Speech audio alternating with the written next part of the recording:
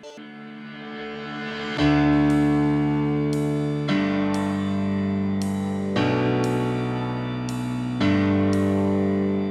love racing and being the best, trying to be the best.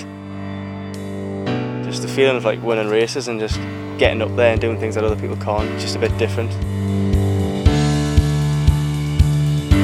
I want to ride bikes all my life.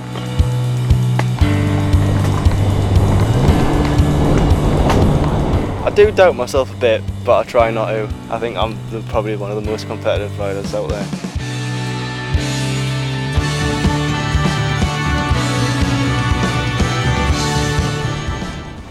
I think when I'm coming down the track, not much goes through my head other than what's coming up. You're just like looking for the next section of track and looking ahead, and you've just got to kind of focus on getting every little part right, rather than thinking about making mistakes. Then you will make mistakes.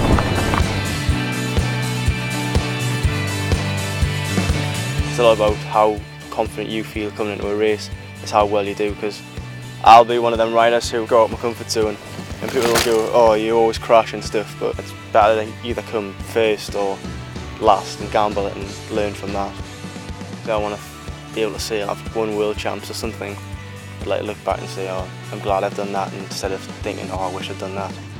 Like, regret the things I haven't done instead of the things I have.